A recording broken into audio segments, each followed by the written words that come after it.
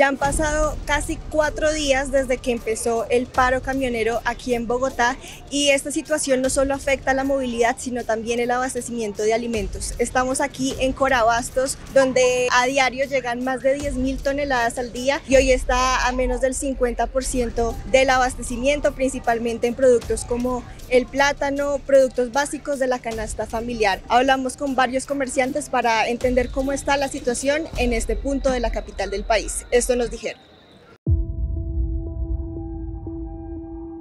Todo se dobló el precio totalmente. La mandarina estaba a 50 mil pesos, hoy está a 120 mil. Entonces subió hartísimo.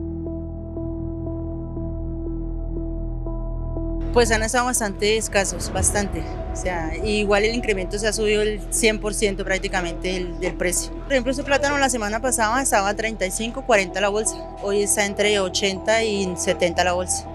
Lo mismo la yuca. La yuca la semana pasada estaba a 25 la pareja, la gruesa estaba entre 60, 50 y esta semana está a 150 y 80.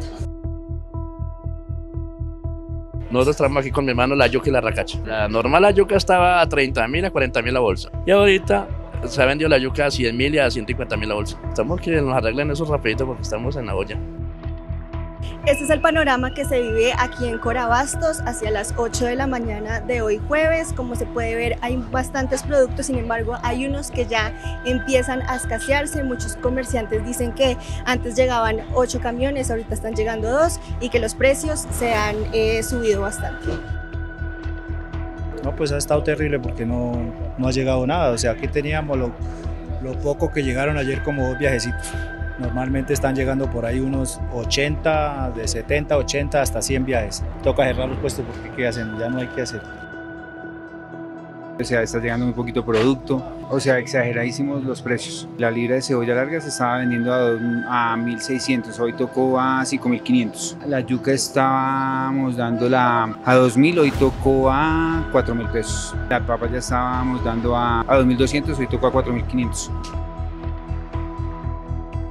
que solucionen porque el desabastecimiento nos afecta a todos, o sea, a toda la ciudad.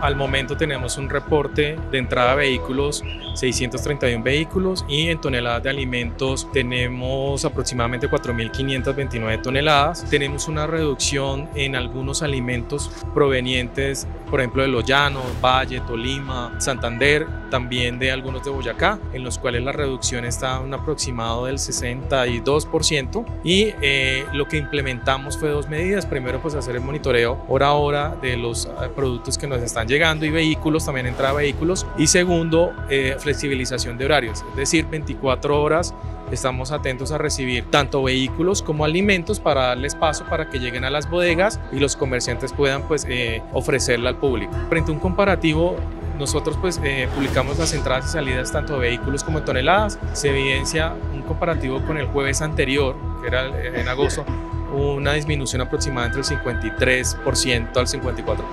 Bueno, como pudimos ver, hay bastante preocupación entre los comerciantes. Muchos de ellos están a favor del paro, otros no.